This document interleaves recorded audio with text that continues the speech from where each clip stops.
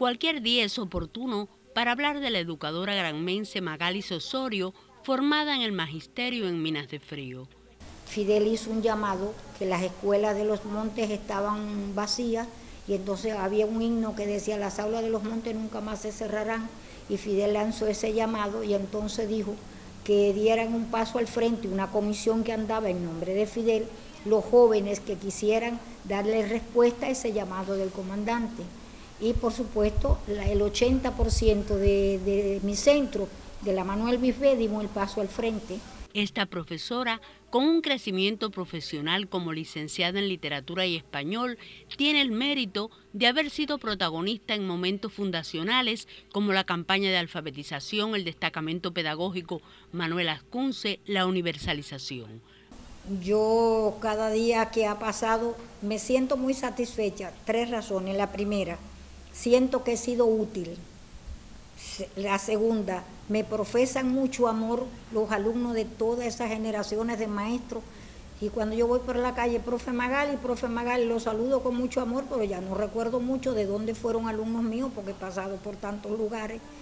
Y lo tercero, yo nunca tengo tiempo limitado, no, a mi casa van muchos jóvenes a que le ayuden en revisión de tesis, en ayuda a jóvenes y personas mayores. Como educadora, maravillosa, eh, ayuda a todo el mundo, alumnos que sean de ella o no fueran de ellos, que van para que lo ayude, ella lo ayuda, sin ningún interés marcado ni nada de eso.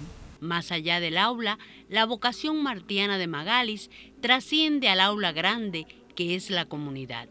Es ejemplo de investigadora, pero también le decimos que es la novia de Martí en todo lo que se refiere al estudio de la obra martiana que no se puede ver desligado a esa gran investigadora que es la profe Magali.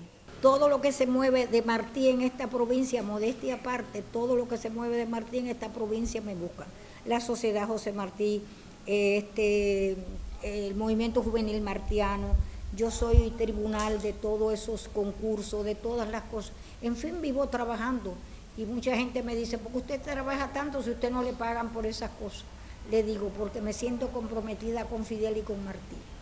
La capacidad de investigar y búsqueda por aprender le caracteriza. Ahora, en la escuela primaria Coco Peredo, es asesora que asegura el acceso a la investigación en las nuevas generaciones.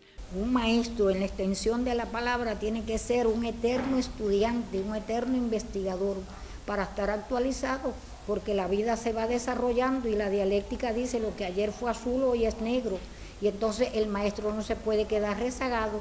Todas las especialidades, todas las carreras tienen que ser estudiosas, pero hay dos a mi juicio, que incluso son las dos conquistas de la revolución, que tienen que vivir estudiando constantemente, que es en el magisterio y en la salud. No se puede hoy hablar de la formación de los maestros en Granma sin hablar de la investigación de la profesora Magalis. Magalis es aquella persona que es necesario buscarla, indagarla, sentarse con ella, escuchar sus consejos, pero además escuchar todo ese caudal de pedagogía y de investigación que ella tiene para darnos a todos portadora de disímiles medallas y condecoraciones, libros publicados, tiene entre sus mayores premios dejar una huella en sus alumnos. Creo que el hombre cuando pasa por la tierra tiene que dejar una huella y la huella más grande es haber sido útil a la sociedad. Teresa Armesto, Sistema Informativo de la Televisión Cubana.